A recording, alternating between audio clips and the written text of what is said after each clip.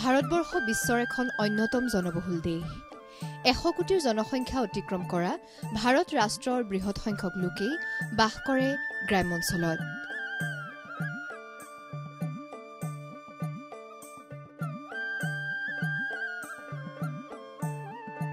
মূলতঃ কৃষিভিত্তিক অৰ্থনীতিত সাঙুৰ খাই পৰা গ্ৰাম্যঞ্চলৰ লোকসকলৰ বৃহৎ সংখ্যকেই দৰিদ্ৰ সীমাৰেখাৰ তলত বসবাস কৰে। দেশখনৰ এই বৃহৎ সংখ্যক জনসংখ্যাৰ লোকক নিৰাপত্তা দিয়াৰ বাবে কেন্দ্ৰীয় চৰকাৰে প্ৰত্যাহ্বান গ্ৰহণ কৰি বিভিন্ন জনকল্যাণকামী আঁচনি এই গ্ৰাম্যঞ্চলসমূহত ৰূপায়ণ কৰি আহিছে। গ্ৰাম্য অঞ্চলৰ অৰ্থনৈতিক ভেটি যদিহে সুদৃঢ় নহয় তেতিয়াহ'লে এখন দেশৰ অৰ্থনৈতিক ভেটি কেতিয়াও কিন্তু সবল হ'ব নোৱাৰে। সেয়েহে গ্ৰাম্য অঞ্চলত বসবাস কৰা জনসাধাৰণৰ যাতে অৰ্থনৈতিক ভেটি সবল হয় সেয়েহে কেন্দ্ৰীয় চৰকাৰে ভিন্ন ধৰণৰ জনকল্যাণমূলক আঁচনি ৰূপায়ণ কৰিছে। আৰু সেই আঁচনিসমূহে এই গাঁও অঞ্চলত কেনেধৰণৰ প্ৰভাৱ পেলাইছে তাৰে কিছু আভাস ল'বলৈ আজি আমি ওলাই আহিছোঁ। বৰ্তমান ভাৰতবৰ্ষৰ জনসাধাৰণৰ মাজত বিশেষভাৱে জনপ্ৰিয় হোৱা আৰু জনসাধাৰণ উপকৃত হোৱা আঁচনিখনেই হৈছে জল জীৱন মিছন আঁচনি। এই আঁচনিখনে গ্ৰাম্যঞ্চলত বাস কৰা প্ৰায় সত্তৰ শতাংশ দৰিদ্ৰ জনসাধাৰণক উপকৃত কৰিছে। আমাৰ হাজো উপসংমণ্ডলৰ অধীনত বৰ্তমান প্ৰায় দুশৰ ওচৰা ওচৰি জল জীৱন মিছনৰ আঁচনি আছে। সেই আঁচনিসমূহৰ অলমষ্ট বহুখিনিৰে কাম সম্পূৰ্ণ হৈছে। যদিও কিছুমান কাম কিছুমান আঁচনিৰ কাম এতিয়াও বাকী আছে। আমি সেইবোৰ পৰ্যায়ক্ৰমে শেষ কৰি যাম। তাৰোপৰিও কিছুমান আঁচনিয়ে মানে প্ৰত্যেকখন এখন গাঁৱৰ সকলো মানুহক কেতিয়াবা ঢুকি নাপায়। গতিকে সেইবোৰত আমি এক্সটেনশ্যনৰ ব্যৱস্থা কৰি আছোঁ। সেইবোৰ পৰ্যায়ক্ৰমে হৈ থাকিব। গতিকে অনাগত দিনবোৰত আমি সেইখিনি সম্পূৰ্ণ কৰাৰ ব্যৱস্থা কৰিম। তাৰোপৰি মই হাজো উপসংমণ্ডলৰ অধীনত বেজেৰা ছেকশ্যনৰ ছেকশ্যনেল অফিচাৰ এতিয়া তাতে মোৰ আণ্ডাৰত থাৰ্টি ফাইভটা জে জে এমৰ স্কীম আছে। সেই স্কীমবোৰৰো আপোনাৰ প্ৰায় সংখ্যকে কমপ্লিট হৈছে। তাৰোপৰি দুই এটা স্কীম কিছুমান কাম বাকী আছে। সেইখিনিও মই সোনকালে কমপ্লিট কৰাৰ ব্যৱস্থাটো কৰিম। এতিয়া এই আমাৰ স্কীমবোৰ সুচাৰুৰূপে পৰিচালনা কৰাৰ কথাটো কৈছোঁ। তাতে স্কীমবোৰ পৰিচালনাৰ বাবে এজন এজন ভলেণ্টিয়াৰ নিয়োগ কৰা হৈছে। প্ৰত্যেকটো স্কীমতে ক'ৰবাত ক'ৰবাত দুজন দুজনো আছে ক'ৰবাত এজনো আছে। এতিয়া তেওঁলোকৰ মেইন কামটো হ'ল তেওঁলোকে ৰাতিপুৱা বা গধূলি যিকোনো এটা টাইমত পানী এক ঘণ্টা বা দুঘণ্টাৰ কাৰণে আহি পাম্প মটৰটো অন কৰি পানী ছাপ্লাই কৰে। এতিয়া তেওঁলোকৰো কিছুমান কাম থাকে। এতিয়া ধৰক যেতিয়া আমি পানী ছাপ্লাই দিওঁ পাব্লিকে যদি পানীৰ টেপটো অন কৰি নথয় এতিয়া আমি যদি ফুল স্পীডত পানীটো ছাপ্লাই দিওঁ সেই পানীৰ টেপবোৰ পানীটো যাব লাগিব। কিন্তু যিহেতু অন অফ কৰি থয় অফ কৰি থ'লে সেই পাইপবোৰ ফাটি যায়। চ' এনেকুৱা ধৰণৰ কিছুমান প্ৰব্লেম আমি দেখা পাওঁ। গতিকে এই ভলেণ্টিয়াৰবোৰৰ কামবোৰ হ'ল তেওঁলোকে যাতে পাব্লিকক ফিক্স কৰি থয় যে এইখিনি টাইমত পানী দিম। গতিকে আপোনালোকে টেপবোৰ অন কৰি থওক যাতে সকলোৱে সেই পানীখিনি ইউজ কৰিব পাৰে। গতিকে আমাৰ স্কীমবোৰ এই ভলেণ্টিয়াৰবোৰৰ দ্বাৰা আমি চলোৱাৰ ব্যৱস্থাটো কৰি আছোঁ। চৰকাৰৰ ভিন্ন অভিলাষী আঁচনিৰ ভিতৰত এখন অন্যতম আঁচনি হৈছে জল জীৱন মিছন আঁচনি। এই আঁচনিখনে গ্ৰাম্য অঞ্চলত প্ৰভাৱ বিস্তাৰ কৰিছে। বলকচোন আমি তাৰে কিছু আভাস লওঁ।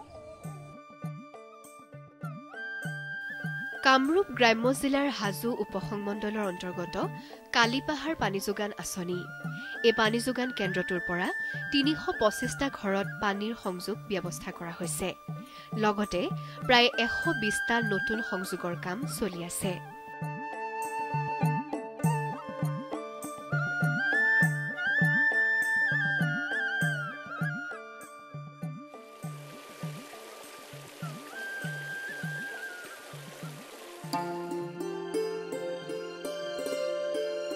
কালিপাহাৰ আঁচনিটোৰ পৰা অঞ্চলটোত সংযোগ কৰা পানীয়ে গাঁওবাসীক বিশুদ্ধ খোৱাপানী দিবলৈ সক্ষম হোৱাত অঞ্চলটোৰ ৰাইজ যথেষ্ট উপকৃত হোৱা পৰিলক্ষিত হৈছে।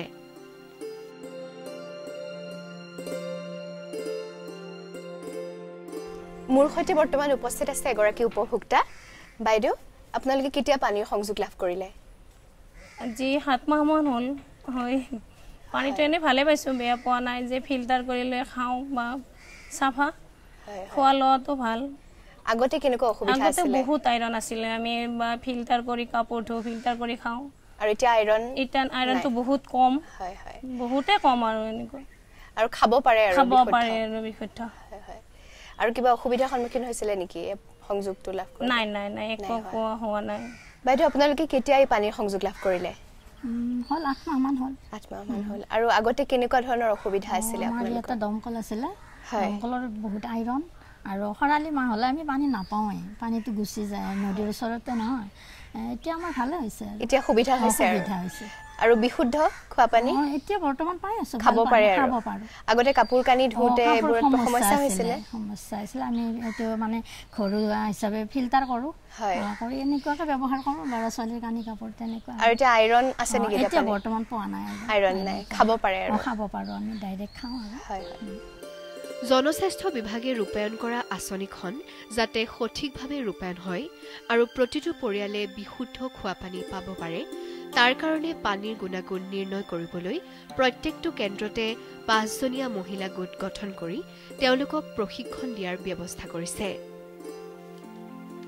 প্ৰত্যেকখন গাঁৱতে পাঁচজনীকৈ মহিলাৰ গোট এটা ক্ৰিয়েট কৰা হয়। সেই গোটটো কোৱা হয় F T K group field testing kit এতিয়া আমি লেবৰেটৰীত পানীৰ কোৱালিটিবোৰ টেষ্ট কৰোঁ। কিন্তু তাৰ মাজতো কেতিয়াবা কিছুমান কেতিয়াবা পানীৰ গুণাগুণ বেয়াও হৈ যাব পাৰে কেতিয়াবা টাইম কিছু সময়ত। গতিকে তেওঁলোকে ঘৰে ঘৰে গৈ এনেকৈ কিছুমান এটা এৰিয়াত যাব তাতে গৈ কেইঘৰমানৰ মূৰে মূৰে পানীৰ চেম্পলটো কালেক্ট কৰি তাতে লগে লগে সেইখিনি টেষ্ট কৰিব। চ' টেষ্ট কৰি তাতে তেওঁলোকে পানীৰ যিখিনি পেৰামিটাৰ আছে p H value chlorine fluoride nitrate সকলোখিনি তাতে টেষ্ট কৰিব পাৰে। জনস্বাস্থ্য বিভাগে গঠন কৰি দিয়া মহিলা গোটসমূহে প্ৰশিক্ষণ লোৱাৰ পিছত গাঁৱৰ ঘৰে ঘৰে গৈ পানীৰ গুণাগুণ পৰীক্ষা কৰে যাতে জনসাধাৰণে বিশুদ্ধ খোৱাপানী পাব পাৰে। প্ৰত্যেকখন পানী যোগান আঁচনিৰ অধীনত এটা মহিলাৰ গোট গঠন কৰি দিয়া হয় আৰু এই গোটটোৱে মানুহৰ ঘৰলৈ গৈ পানীৰ গুণাগুণ নিৰূপণত এটা বিশেষ ভূমিকা পালন কৰে। আৰু মোৰ সৈতে উপস্থিত আছে তেনে এটি গোট। বাইদেউ আপোনালোকে কেনেকৈ কাম কৰে? আমি আচলতে গোটেই গ্ৰুপ আমাক চুবা গোটেই ৰেভিনিউ ভিলেজ হিচাপে আমাক চুবা চুবা হিচাপে গোট এটা গঠন কৰি দিয়া হৈছিলে পাঁচজনীয়াকৈ গ্ৰুপ হয়। হয় পাঁচজনীয়াকৈ গ্ৰুপ আমাক গোটেই নিজৰ নিজৰ গাঁওখনৰ এলেকাৰ পানী পৰীক্ষা বুলি কৰিব দিছিলে। আমাক কিটছ এটা দিয়া গৈছে মানে পানী পৰীক্ষাৰ।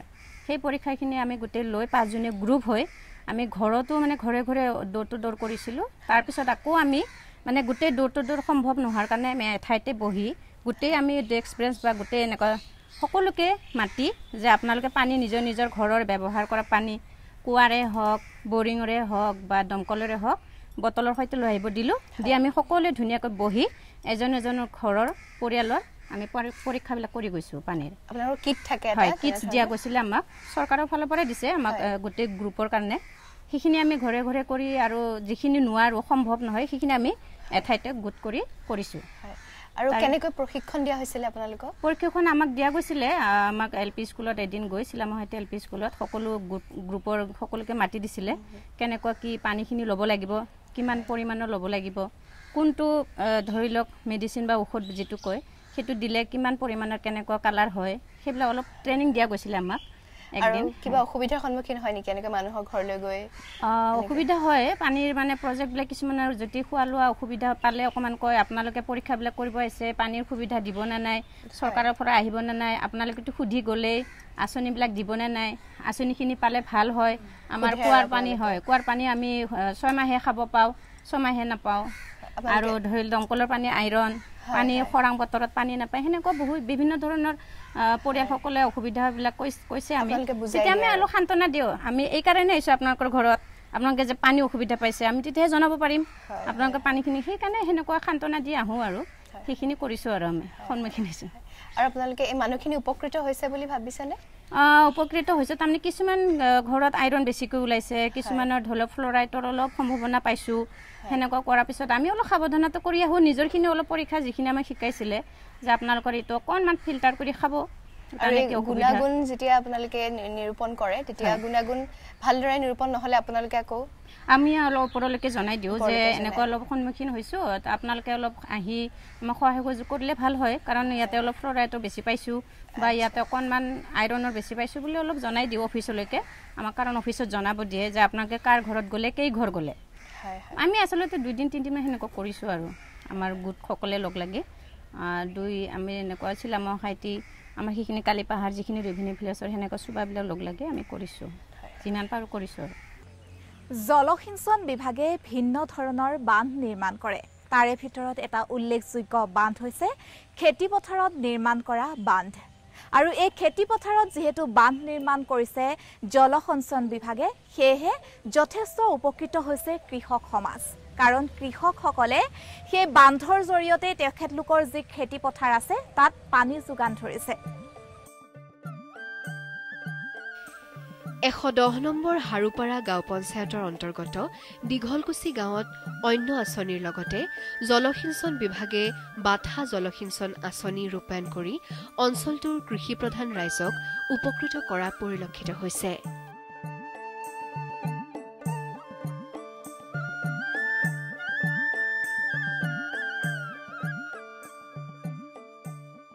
বাথা এইটো হৈছে আমাৰ Batha irrigation scheme Batha flow' irrigation scheme এইটো আমাৰ দুহেজাৰ বাৰ তেৰ চনৰ এ আই বি পি আণ্ডাৰত প্ৰথম কাম ষ্টাৰ্ট কৰা হৈছিল যিটো এক্সিলেটেড ইৰিগেশ্যন বেনিফিট প্ৰগ্ৰাম বুলি কয় যিটো চেণ্ট্ৰেল গভমেণ্টৰ স্কীম হয় এইটো। এইটো আপোনাৰ তাতে নাইণ্টি পাৰ্চেণ্ট চেণ্ট্ৰেল শ্বেয়াৰ থাকে টেন পাৰ্চেণ্ট ষ্টেট শ্বেয়াৰ থাকে। আৰু স্কীমটো পৰে আপোনাৰ হাৰুপাৰা গাঁও পঞ্চায়তৰ আণ্ডাৰত আৰু চয়নী বৰদোৱাৰ ব্লকৰ আণ্ডাৰত পৰে। এই স্কীমটোৰ জৰিয়তে আমি বৰ্তমান তেৰশ আশী হেক্টৰত পানী যোগান ধৰি আছোঁ। ইয়াতে দেখিছে আপুনি ৰাইট ছাইড আৰু লেফ্ট ছাইডত দুটা ছেপাৰেট কেনেল আছে মেইন কেনেল ৰাইটটো আমি আৰ বি এম চি বুলি কওঁ ৰাইট বেংক মেইন কেনেল লেফ্টটো কওঁ যে L B M C left bank main canal right bank main কেনেলৰ জৰিয়তে আমি ছেভেন নাইণ্টি হেক্টৰত বৰ্তমান পানী যোগান ধৰি আছোঁ। আপোনালোকে খেতিপথাৰ দেখিলে গম পাব ধুনীয়াকৈ খেতি কৰিছে ৰাইজে। আৰু লেফ্ট ছাইডেদি আমি ছিক্স নাইণ্টি হেক্টৰত পানী যোগান ধৰি আছোঁ বৰ্তমান। জলসিঞ্চন বিভাগে ৰূপায়ণ কৰা এই আঁচনিয়ে প্ৰায় তেৰশ হেক্টৰ কৃষিভূমি সামৰি লৈ ৰাইজক উপকৃত কৰা পৰিলক্ষিত হৈছে। দীঘলকুছি দহজতীয়া মাৰাভিঠা আদি অঞ্চলৰ কৃষিভূমিত এই আঁচনিয়ে এক উল্লেখযোগ্য ভূমিকা লোৱা পৰিলক্ষিত হৈছে।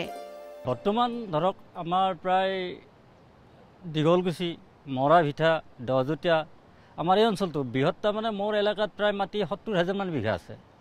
বৰ্তমান এতিয়া ধৰক নাই বুলিলেও আমাৰ দহ হাজাৰ বিঘা মাটি উপকৃত হৈছে। বাকীখিনি আমাৰ যদি মিনি আৰু মিনি মানে কেনেল হয় তেতিয়া আমাৰ প্ৰায় সত্তৰ হাজাৰমান বিঘা মাটি মানে এই প্ৰজেক্টৰ পৰা উপকৃত হ'ব আমি সচৰাচৰ শুনি অহা চৰকাৰৰ যি আঁচনি তাৰে ভিতৰত এখন অন্যতম আঁচনি হৈছে মহাত্মা গান্ধী গ্ৰাম্য নিয়োগ নিশ্চিত আঁচনি। আৰু এই আঁচনিখনে দৰিদ্ৰ হিতাধিকাৰীসকলক যথেষ্টখিনি উপকৃত কৰিছে। আহকচোন তাৰে কিছু আভাস লওঁ। গ্ৰাম্যঞ্চলত বাস কৰা দৰিদ্ৰ পিছপৰা লোকসকলৰ কাৰণে চৰকাৰে ৰূপায়ণ কৰা আঁচনিসমূহ বিশেষকৈ মহাত্মা গান্ধী ৰাষ্ট্ৰীয় গ্ৰাম্য নিয়োগ নিশ্চিত আইন প্ৰধানমন্ত্ৰী আৱাস যোজনা চতুৰ্দশ আৰু পঞ্চদশ বিত্তীয় আয়োগ ৰাষ্ট্ৰীয় সামাজিক সহায়ক কাৰ্যসূচী ৰামপুৰ উন্নয়ন খণ্ডটোৰ এলেকাসমূহতো ৰূপায়ণ হোৱা পৰিলক্ষিত হৈছে। মহাত্মা গান্ধী ৰাষ্ট্ৰীয় গ্ৰাম্য নিয়োগ নিশ্চিত আঁচনি এখন সুদূৰ প্ৰসাৰী আঁচনি। ৰামপুৰ উন্নয়ন খণ্ডৰ অন্তৰ্গত অঞ্চলসমূহত এই আঁচনিখনৰ ৰূপায়ণে এক নতুন গতি ল'বলৈ সক্ষম হৈছে। ৰামপুৰ উন্নয়ন খণ্ডৰ অন্তৰ্গত দহখন গাঁও পঞ্চায়তৰ এখন উল্লেখযোগ্য পঞ্চায়ত হ'ল নহিৰা গাঁও পঞ্চায়ত। এই পঞ্চায়তৰ প্ৰায় সংখ্যক লোকেই দৰিদ্ৰ সীমাৰেখাৰ তলত বাস কৰা লোক এই বৃহত্তৰ এলেকাটোৰ উন্নয়নৰ কাৰণে পঞ্চায়তখনে কিছুমান উন্নয়নমূলক কাম আৰম্ভ কৰিছে যাতে ইয়াৰ দ্বাৰা পঞ্চায়তৰ এলেকাত বাস কৰা জনসাধাৰণ উপকৃত হ'ব পাৰে। খেতি এই খেতিৰ জৰিয়তে যে মানুহে কি কি কৰিব নোৱাৰে নহয় জানো? কিছু লোক আকৌ এনেও আছে যিয়ে খেতি কৰিবলৈ অকণমান সংকোচ পায়। কিন্তু এই খেতিৰ জৰিয়তে নিজকে স্বাৱলম্বী কৰাৰ লগতে আৰ্থিকভাৱে যি টনকিয়াল হোৱাৰ যি ক্ষমতা সেয়া কেনেধৰণে কৰিব পাৰে তাকে জানিবলৈ আজি মই এখন বিশেষ বাগানত আহি উপস্থিত হৈছোঁ। যেনিয়ে চাই তেনিয়েই কেৱল ফচল আৰু ফচল। লোমালোমে লাগিছে অমিতা আৰু যদি আপুনি চাই তামোলৰ শাৰী আনফালে যদি চাই বগৰী এনেধৰণৰ ভিন্ন ধৰণৰ ফচল নেমুকে ধৰি আন ভিন্ন ধৰণৰ ফচলেৰে ভৰি পৰিছে এখন বৃহত্তৰ বাগান। এই বাগানখনৰ হিতাধিকাৰীৰ সৈতে কথা পাতিম। তেখেত কেনেধৰণে স্বাৱলম্বী হৈছে এই খেতিৰ জৰিয়তে তাকো জানিবলৈ যত্ন কৰিম। যি সময়ত যুৱকসকলে আৰ্থিকভাৱে টনকিয়াল হ'বলৈ বহিৰাজ্যলৈ ঢাপলি মেলে তেনে সময়ত এই যুৱকসকলে কেনেধৰণে খেতি কৰি পেলাই তেওঁলোক স্বাৱলম্বী হৈছে তাকো আমি জানিবলৈ যত্ন কৰিম। বলকচোন তেখেতৰ সৈতে কিছু কথা পাতোঁ। বেজৰতাৰী গাঁও পঞ্চায়তৰ অন্তৰ্গত এলেকাসমূহত চৰকাৰে ৰূপায়ণ কৰা আঁচনিয়ে তাত বাস কৰা দৰিদ্ৰ জনসাধাৰণক উপকৃত কৰাৰ দিশে আগবাঢ়িছে। মহাত্মা গান্ধী ৰাষ্ট্ৰীয় নিয়োগ নিশ্চিত আইনৰ অন্তৰ্গত আই বি এছ আঁচনিৰ জৰিয়তে ব্ৰহ্মপুত্ৰৰ পাৰত বেজৰতাৰী পঞ্চায়তৰ অন্তৰ্গত অঞ্চলসমূহৰ স্থানীয় যুৱকসকল অমিতা বগৰী তামোল আদিৰ খেতি কৰি নিজকে স্বাৱলম্বী হোৱাৰ দিশে আগবাঢ়িছে। আপুনি যিহেতু বৰ্তমান সময়ত স্বাৱলম্বী হৈছে লগতে বহু কেইজন আপোনাৰ সতীৰ্থ যুৱককো স্বাৱলম্বী কৰি তুলিছে আপুনি ইয়াতে কেনেধৰণৰ খেতি কৰিছে? মোৰ বগৰী খেতি আছে আপেল বগৰী থাইলেণ্ড বগৰী অমিতাৰ খেতি নেমুৰ খেতি তামোলৰ বাগান অলপ আছে। তামোলৰ বাগানো আছে। আপুনি এই যি ফচলসমূহ উৎপাদন হয় আপুনি ক'ত বিক্ৰী কৰে? নে ইয়ালৈ কিনিবৰ বাবে ক্ৰেতাসকল আহে? বেপাৰী আহে ইয়াৰ পৰা ইয়াৰ পৰা হ'লচেলাৰ বেপাৰী গুৱাহাটী মই আপোনাৰ ওচৰলৈ আহিছোঁ। আৰ্থিকভাৱে কেনেধৰণে স্বাৱলম্বী হৈছে খেতি কৰাৰ পাছত? আমি মানে এই যিটো এম জি এনেকা যিটো মানে স্কিম দিছে আমাক স্কিমটো নাপালে আমি এই খেতি কৰা মানে সম্ভৱ নহ'ল কাৰণ এই পুলি এটা কিনিব লাগিলে চল্লিছ টকা লাগে। প্ৰায় চৈধ্য পোন্ধৰ হাজাৰ টকা মানে পুলিতে যায়। আৰুতো বাকী মানে আছে খৰচ মানে হেৰি ফল চিনাক গেলি। গতিকে আমি এন জেগাৰ এন জি এন জেগাৰ মানে অধীনত বহুখিনি উপকৃত হৈছোঁ। আৰু বৰ্তমান স্বাৱলম্বী ভৰা গৈছে আৰু মই মানে এইটো হেৰি কৰিছোঁ যে এই এম জি এন জেগাটো কণ্টিনিউৱাছ অৰ্থাৎ মানে ৰানিং হৈ থাকিব লাগে। আমাৰ বহু ল'ৰাই পাব লগা আছে। পাৱাখিনি আমি উপকৃত হৈছোঁ আৰু নাপাৱাখিনি যে উপকৃত হয় মই এইটো আশা কৰোঁ পাৱাৰ কাৰণে। আমি যথেষ্ট পৰিমাণে মানে যিটো আমি পজিশ্যনত আহিছোঁ এতিয়া ইয়াৰ জৰিয়তে আহিছোঁ। আৰু মই বুলিয়ে নহয় আমাৰ এই অঞ্চলৰ যিখিনি ডেকা আছে গোটেইখিনি উপকৃত হৈছে মানে। অভাৱৰ মানে নাই মানে চলিব পাৰছি আৰু মোটামুটিকৈ। চৰকাৰে প্ৰৱৰ্তন কৰা আঁচনিসমূহৰ ভিতৰত এখন উল্লেখযোগ্য আঁচনি হ'ল প্ৰধানমন্ত্ৰী আৱাস যোজনা। অন্ন বস্ত্ৰ বাসস্থান এয়া জনসাধাৰণৰ জন্মগত অধিকাৰ। এই অধিকাৰলৈ সন্মান জনাই কেন্দ্ৰীয় চৰকাৰে দৰিদ্ৰ সীমাৰেখাৰ তলত থকা লোকসকলক পকী ঘৰ দিয়াৰ ব্যৱস্থা কৰিছে।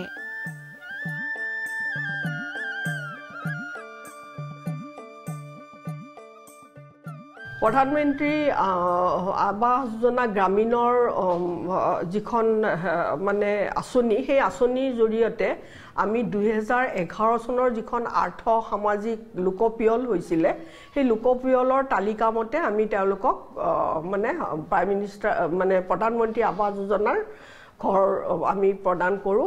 আৰু সেই তালিকাভুক্ত আমাৰ ইতিমধ্যে চয়নী বৰদোৱাৰ উন্নয়ন খণ্ডত তালিকাভুক্ত প্ৰায় ঊনৈছশ বাষষ্ঠিটা আমাৰ তালিকাভুক্ত হিতাধিকাৰী আছে। তাৰে আমি তেৰশ চাৰিটা ইতিমধ্যে আমি সম্পূৰ্ণ কৰিছোঁ। আৰু বাকীখিনি আমি আমাৰ এতিয়া কাম চলি আছে। দৰিদ্ৰ সীমাৰেখাৰ তলত বসবাস কৰা গৃহহীন লোকৰ বাবে ৰূপায়ণ কৰা এখন অভিলাষী আঁচনি হৈছে প্ৰধানমন্ত্ৰী আৱাস যোজনাৰ আঁচনি। আৰু এই আঁচনিখনৰ জৰিয়তে যিসকল লোকৰ এটা উপযুক্ত বাসগৃহ নাই তেখেতলোকে বসবাস কৰিবৰ বাবে তেওঁলোকক সেই বাসগৃহটো দিছে চৰকাৰে যাৰ বাবে তেওঁলোক যথেষ্টখিনি উপকৃত হৈছে। আহকচোন আমি তেওঁলোকৰ মুখেৰে শুনো। বাৰেণ্টি মণিয়াৰী পাৰাকুচি গাঁও পঞ্চায়তৰ অন্তৰ্গত ধনতোলা এখন হীৰা আৰু কৈবৰ্ত সম্প্ৰদায়েৰে পৰিপূৰ্ণ এখন দৰিদ্ৰ সীমাৰেখাৰ তলত বাস কৰা গাঁও। এই পিছপৰা গাঁওখনতো আঁচনিয়ে এক নতুন ৰূপ লোৱা পৰিলক্ষিত হৈছে।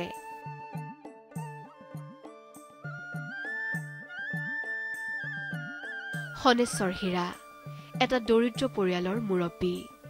দৰিদ্ৰতাৰ সৈতে যুঁজ দিয়া মানুহজনে প্ৰধানমন্ত্ৰী আৱাস যোজনাৰ অধীনত ঘৰ পাই আজি যথেষ্ট আনন্দিত।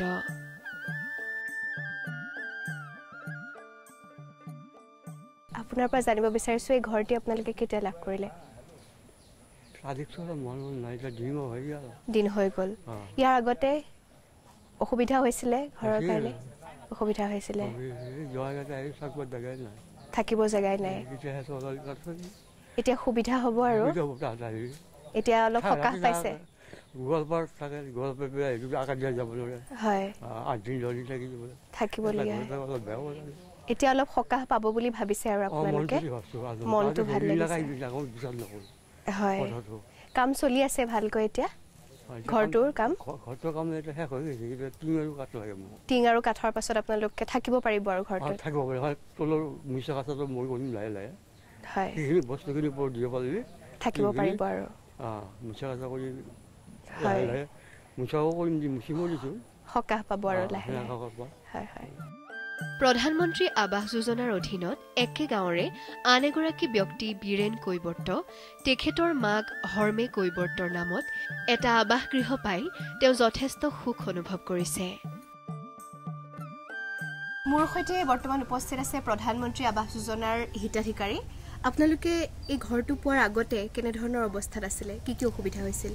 আমি এটা ঘৰতে আহিছিলোঁ হয়। এটা ঘৰতে দুখন বিচনা আছিল।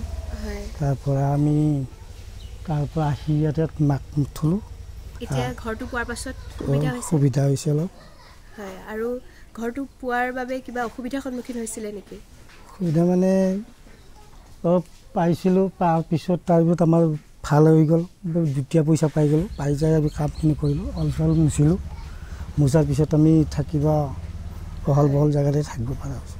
চৰকাৰে ভিন্ন ধৰণৰ কল্যাণকামী আঁচনি ৰূপায়ণ কৰিছে। সেই কল্যাণকামী আঁচনিসমূহে যথেষ্টখিনি উপকৃত কৰিছে আমাৰ গ্ৰাম্য অঞ্চল। আৰু গ্ৰাম্য অঞ্চলৰ হিতাধিকাৰীসকলে যথেষ্ট সুবিধা লাভ কৰিছে এই আঁচনিসমূহৰ জৰিয়তে। হয়তো গৃহহীন লোকে এটা বাসগৃহ পাইছে কোনোৱে হয়তো বোকা এটা পথেৰে খোজকাঢ়ি যাবলগীয়া হৈছিল তেওঁলোকে এটা সুন্দৰ পথ উপহাৰ পাইছে। কোনোৱে হয়তো দুবেলা দুমুঠি ভাতৰ যোগাৰ কৰিব পাৰিছে এই আঁচনিসমূহৰ লগত জড়িত হৈ থাকি তেওঁলোকে কাম কাজ কৰি। এনেধৰণে ভিন্ন ধৰণে উপকৃত হৈছে বিশেষকৈ যুৱকসকল উপকৃত হৈছে। তেওঁলোকে স্বাৱলম্বী হৈছে মহিলাসকলৰ সবলীকৰণৰ যি প্ৰক্ৰিয়া সেয়াও পূৰ্বতকৈ উন্নত হৈছে। সেয়েহে এনেধৰণৰ কল্যাণকামী আঁচনিসমূহে যথেষ্টখিনি প্ৰভাৱ বিস্তাৰ কৰিছে যথেষ্টখিনি উপকৃত কৰিছে গ্ৰাম্য অঞ্চলত। ইয়াকে কৈ আজিৰ বিকাশৰ খণ্ডটোৰ পৰা মই তৃষ্ণাই বিদায় লৈছোঁ। ধন্যবাদ।